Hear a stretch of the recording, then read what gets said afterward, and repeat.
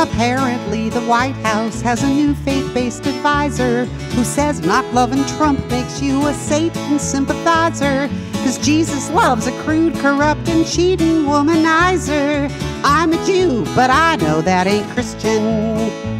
Miss Paula White is all about the gospel of prosperity, which is give her your money and she'll preach with all sincerity that wealth is good, at least hers is. So screw kindness and charity. I'm a Jew, but I know that ain't Christian.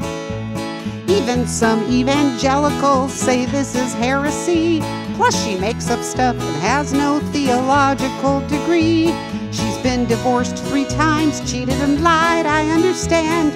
No wonder Trump selected her, she's totally on brand. She says, give her money or you'll suffer. She's been known to wheedle.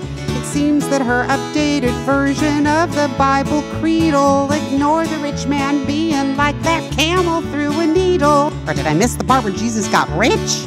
I'm a Jew, but I know that ain't Christian.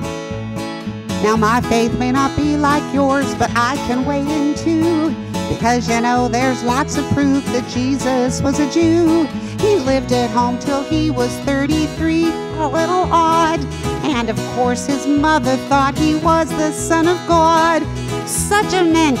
Oh, by the way, he was an immigrant and a refugee. Just saying. Anyway, now this nut is babbling in tongues and she demands that we believe the White House is the sacredest of lands. Well, Trump's favorite part of praying is the laying on of hands. I'm a Jew, but I know he ain't Christian.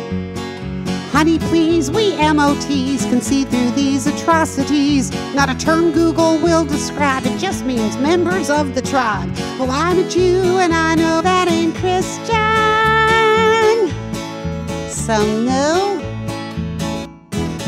One quick note before I sign off. If you all were thinking, hmm, that song sounds familiar, I wonder what it's to the tune of. Well, actually, it's to the tune of something I did myself with that same title earlier on when the Trump administration did something else that I can't even remember, but it didn't seem Christian to this here Jewish mama.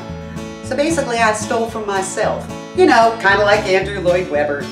Uh, and I might do it again because let's just say the odds of this administration doing something else, not very Christian, are pretty darn good. So stay tuned and y'all come back now. You hear?